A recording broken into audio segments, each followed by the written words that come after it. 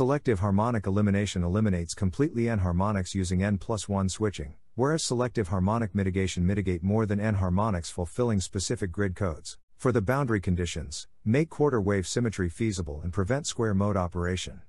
Also, there are two regions regular operation and operation with phase reversal, as depicted.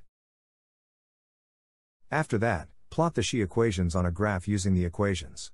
Different modulation indices make it feasible to have either no solution, a single solution, or numerous solutions, as demonstrated.